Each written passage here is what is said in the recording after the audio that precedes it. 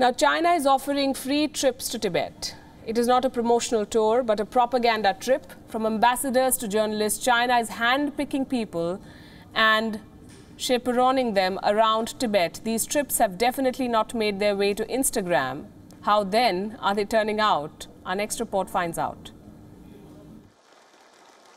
In the month of August, China held a meeting on Tibet, the seventh Tibet Work Forum. It was chaired by Chinese President Xi Jinping. He laid out a strategy to sinicize Tibet, make it more Chinese.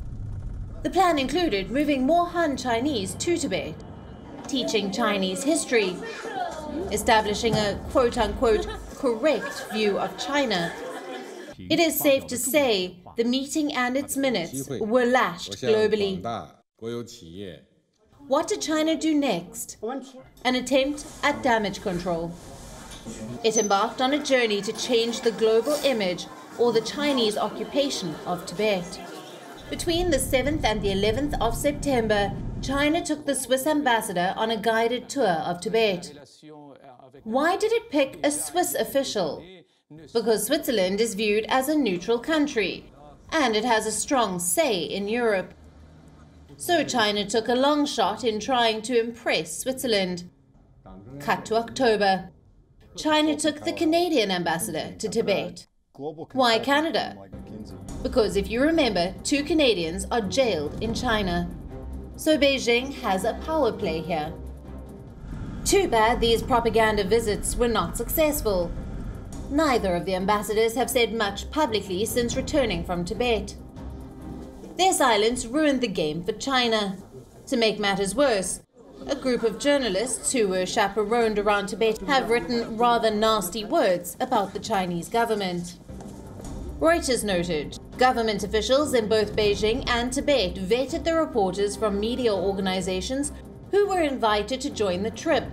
On the closely supervised tour, there was little opportunity to interact with ordinary Tibetans without government officials in attendance. In one Tibetan village, media crews saw signs that read, Thank the party, listen to the party, follow the party. The reporters were allowed to speak to a 41 year old Tibetan. The man said that he was so busy with work that he has forgotten Buddhism. I needed to work in order to give my family a better life, so I went to work.